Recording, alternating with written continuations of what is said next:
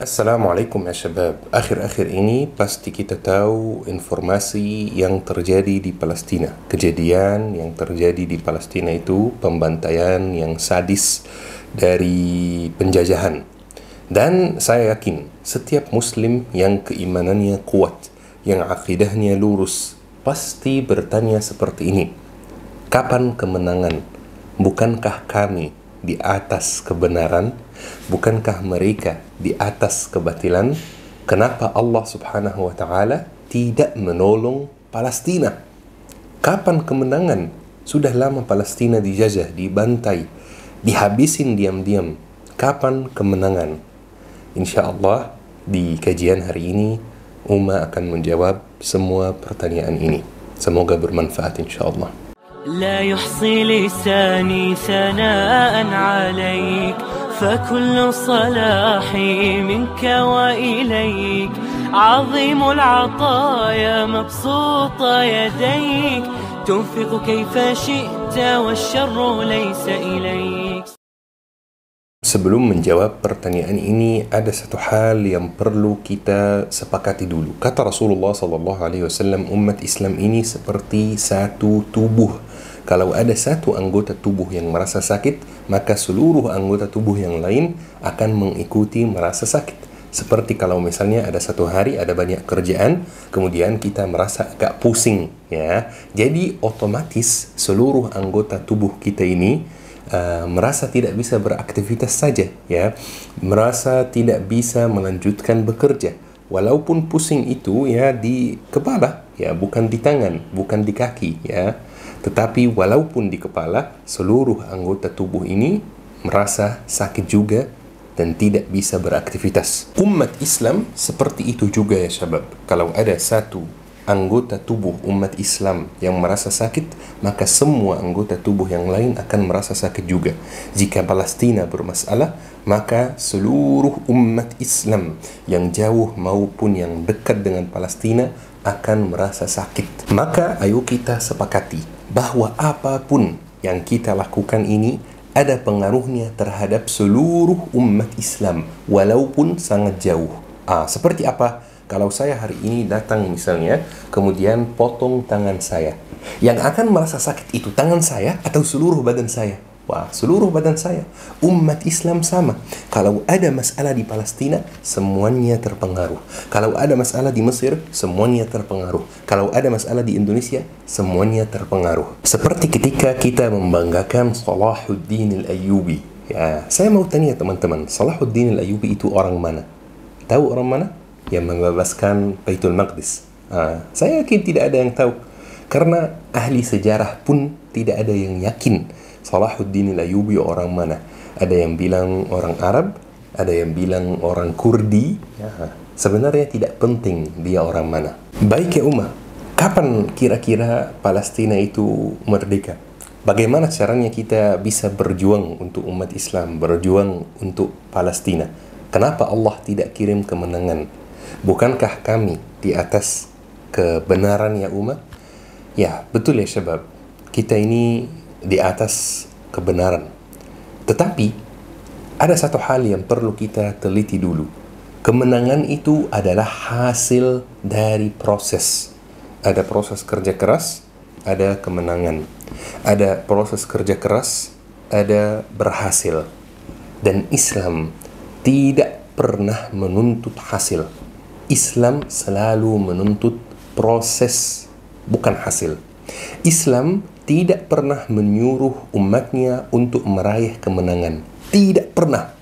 Tetapi um Islam menyuruh umat Islam untuk berproses agar meraih kemenangan. Islam tidak pernah mempermasalahkan hasil. Islam selalu fokus pada proses. Allah Subhanahu wa taala berfirman, "Wa man yakhruj min baitihi muhajiran ila Allah wa rasulih, thumma yudrikuhu al-maut, faqad waqa'a ajruhu 'ala Allah." Masya Allah, ayat ini luar biasa. Ayo kita tadabburi dan perhatikan maknanya. Barang siapa yang keluar dari rumahnya bermaksud untuk berhijrah karena Allah dan Rasulnya, kemudian kematian menimpannya, sebelum dia sampai tempat tujuan, sebelum dia sampai tempat hijrah, maka sungguh pahalanya itu telah ditetapkan di sisi Allah Subhanahu wa taala. Padahal ya syabab, dengan hitungan dunia dia gagal. Dia kan niatnya hijrah, tetapi dia tidak sempat hijrah. Dia tidak berhasil untuk hijrah. Kematian menimpannya di tengah jalan. Dengan hitungan dunia dia gagal, tetapi dengan hitungan akhirat dia menang dan pahalanya sempurna sama seperti orang yang hijrah dan sudah sampai tempat tujuan, tempat hijrah. Karena selalu hitungan akhirat itu berbeda dengan hitungan dunia. Saya mau kasih satu contoh teman-teman. Ada orang yang sedekah eh, sepuluh ribu, ya, sepuluh ribu uh, nominal yang bisa dibilang kecil, ya. Dan ada orang lain yang sedekah satu miliar. Kira-kira mana yang lebih besar sedekahnya? Kalau pakai hitungan dunia, yang lebih besar satu miliar. Ini sepuluh ribu, ini satu miliar. Wajar satu miliar lebih besar. Tetapi kalau kita pakai hitungan akhirat, belum tentu satu miliar itu lebih besar. Belum tentu. Rasulullah sallallahu alaihi wasallam bersabda, "Sabaqa dirham alfu dirham."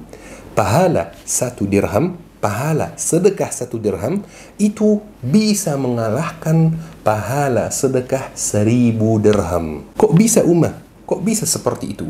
Iya, yang sedekah satu dirham itu hartanya berapa? Satu dirham. Jadi dia sedekahkan 100% dari hartanya. Tetapi yang sedekah seribu dirham, hartanya berapa? Hartanya satu miliar. Nah, jadi apa yang dia sedekahkan itu kecil sekali. Satu persen dari hartanya setengah persen dari hartanya ya saya hitung sendiri aja ya. Satu contoh lagi ya syabab. Ibu rumah tangga dalam Islam.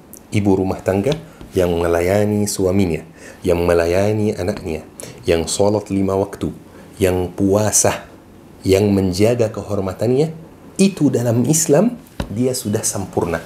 Langsung masuk surga. Sudah full mark. Padahal dengan hitungan dunia Hmm, sayangnya di zaman kita ini dengan hitungan dunia, ibu rumah tangga yang seperti itu dianggap remeh, dianggap kurang produktif. Dengan hitungan dunia, dianggap biasa saja karena dia tidak menghasilkan uang. Ah, tetapi dengan hitungan akhirat, dia full mark. Dia sudah mencapai tingkat yang sangat sempurna. Pekerjaan ibu rumah tangga di zaman kita ini dianggap pekerjaan yang remeh. Padahal di sisi Allah ini pekerjaan paling mulia pahala wanita yang bekerja belum tentu seperti pahala ibu rumah tangga yang hanya fokus dengan rumah tangganya. Ha, saya nggak bilang wanita bekerja itu haram ya, itu uh, beda cerita. Maka teman-teman tidak perlu begitu fokus dengan hasil. Lebih baik fokus pada proses Itulah yang Rasulullah sallallahu alaihi wasallam ajarkan kepada kita menjadi muslim yang bermanfaat buat Palestina. Apa yang kita lakukan dalam kehidupan sehari-hari kita itu sebenarnya pengaruh terhadap Palestina teman-teman. Walaupun kita sangat jauh dengan Palestina. Menjadi muslim yang lebih baik, muslim yang lebih taat itu jauh lebih bermanfaat buat Palestina daripada hanya bertanya kenapa Allah tidak menolong Palestina kapan kemenangan. Walaupun Islam menyuruh kita untuk fokus pada proses tetapi ada perintah juga dari Allah bahwa kemenangan Allah itu dekat. Dekat itu kapan? Dekat itu ketika kita berhasil memperbaiki diri sendiri sebagai orang muslim. Sebelum tanya diri sendiri kenapa Allah tidak menolong Palestina? Tanya diri sendiri juga berapa kali khatam Al-Quran. Tanya diri sendiri, berapa ayat yang kita hafal dari Al-Quran setiap hari. Tanya diri sendiri, berapa ayat yang kita tadaburi setiap hari. Tanya diri sendiri, berapa orang yang kita ajak masuk Islam. Tanya diri sendiri, ilmu apa yang kita pelajari. Jangan sampai kita duduk di kamar, rebahan, main HP, main IG dan bertanya, kenapa Allah tidak menolong Palestina? Kapan Allah kirim kemenangan? Ah, wajar, kemenangan belum ada. Karena Allah Subhanahu wa taala menyuruh kita fokus pada proses, bukan pada hasil, tetapi kita lebih fokus pada hasil, yaitu kemenangan dan meninggalkan proses. Proses itu apa? Proses itu adalah proses memperbaiki diri untuk menjadi muslim yang lebih baik. Kata Umar bin Khattab, kita ini orang muslim mengalahkan musuh kita karena maksiat musuh kita lebih banyak dari maksiat kita. Makanya Allah kirim kemenangan. Ketika maksiat kita setara dengan maksiat musuh kita, maka mereka yang akan menang. Ketika Amr bin al-As dikirim oleh Umar bin Khattab kepada negeri Mesir untuk menakluk Mesir, untuk menyebarkan Islam di Mesir. Amr bin al-As dua tahun kelilingi kota Iskandaria, tidak bisa masuk kota Iskandaria. Dua tahun itu waktu yang sangat lama. Dua tahun tidak bisa masuk kota Iskandaria yang merupakan waktu itu ibu kotanya Mesir. Langsung Umar bin Khattab kirim surat. Ah, kalian tidak bisa masuk kota Iskandaria karena maksiat kalian sebagai prajurit, sebagai individu sudah sangat banyak. Makanya Allah menghalangi kemenangan. Proses kamu kurang sempurna. Ah, makanya Amr bin al-As langsung mengajak prajurit, langsung mengajak pejabat, langsung mengajak panglima untuk muhasabah diri sendiri, memperbaiki diri sendiri, taubat istighfar dari dosa-dosa yang mereka lakukan dan alhamdulillah mereka berhasil masuk kota Iskandaria. Jangan berharap Palestina merdeka kalau proses kita sebagai individu, sebagai muslim belum sempurna. Jangan berharap Palestina merdeka kalau di hati kita masih ada banyak rasa dengki. Jangan berharap Palestina merdeka kalau akhlak kita belum baik, saling mencaci maki di sosmed, saling menghina di sosmed. Jangan berharap Palestina merdeka kalau kita masih jauh dari Al-Quran. Jangan berharap Palestina merdeka kalau masih banyak akhwat yang belum berjilbab. Jangan berharap Palestina merdeka kalau masih ada orang muslim yang tidak sholat. Jangan berharap Palestina merdeka kalau masih ada orang muslim yang makan riba, pinjol, dan lainnya. Jangan berharap Palestina merdeka kalau ada orang muslim yang masih main judi. Jangan berharap Palestina merdeka kalau masih ada istri yang tidak nurut sama suaminya, yang menantang suaminya. Jangan berharap Palestina merdeka kalau masih ada suami yang tidak menafkahi istrinya, yang tidak bertanggung jawab atas istrinya dan anaknya, yang main fisik dengan istrinya. Jangan berharap Palestina merdeka kalau gibah itu menjadi aktivitas seharian kita. Hampir setiap hari kita gibah. Jangan berharap Palestina merdeka kalau membicarakan keburukan orang lain itu sudah hal yang biasa dan sudah hal yang tidak aneh lagi. Kok bisa Uma? Apa hubungannya emang maksiat kita yang sehari-hari itu dengan kemerdekaan Palestina? Emang ada hubungannya? Iya teman-teman, ada hubungannya. Kita ini satu tubuh. Kita satu tubuh. Kalau tangan sakit, kaki sakit, terus kepala sakit, terus mata sakit, telinga sakit, uh, hidung sakit, mulut sakit, itu bisa dikatakan badan yang tidak sehat teman-teman. Tetapi kalau semuanya sehat, maka badan ini akan dikatakan badan yang sehat. Tubuh umat Islam seperti ini. Terdiri dari anggota-anggota, individu-individu. Umat Islam ini terdiri dari saya, terdiri dari Anda, terdiri dari dia. Kalau saya sehat, Anda sehat, dia sehat, maka tubuh umat Islam ini akan dikatakan umat tubuh yang sehat juga. Jika saya sakit, jika Anda sakit, jika dia sakit, maka tubuh umat Islam ini akan dikatakan tubuh yang tidak sehat. Maka jika Anda mau Allah kirim kemenangan, jika Anda mau Palestina merdeka, maka perbaiki diri Anda. Dan ini uh, muhasabah buat umat sendiri juga ya. Uh, umat berceramah Uma mengatakan seperti ini tidak berarti Uma itu orang baik yang sudah sempurna. Tidak berarti Uma ini orang terbaik di antara teman-teman yang menonton. Saya yakin banyak dari teman-teman yang menonton itu jauh lebih baik dari Uma. Cuman Allah memudahkan jalan Uma untuk mengingatkan teman-teman dari mimbar ini, ya, dari channel ini. Itu saja ceritanya. Maka teman-teman, ayo kita perbaiki diri sendiri agar Palestina insya Allah merdeka. Taib. Bagaimana caranya support Palestina? Saya kasih tiga cara teman-teman. Ada tiga cara yang kita bisa lakukan untuk support Palestina. Lebih sempurna, lebih afdal tiga-tiganya dilakukan. Saya yakin insya Allah banyak yang bisa melakukan tiga-tiganya karena memang tiga-tiganya tidak sulit teman-teman. Cara yang pertama adalah mendoakan saudara kita di Palestina. Saya mau bertanya teman-teman, coba teman-teman jawab sendiri di rumah. Kapan terakhir kali antum mendoakan saudara kita di Palestina? Ah, hari ini, dua hari yang lalu, seminggu yang lalu, ayo kita rutinkan setiap hari kita mendoakan saudara kita di Palestina. Jangan anggap doa itu remeh. Kata Rasulullah sallallahu alaihi wasallam, "Ad-du'a'u silahul mu'min." Doa ini adalah senjatanya orang mukmin, Masya Allah. Hal kedua yang kita bisa lakukan, membantu dengan harta, membantu dengan uang.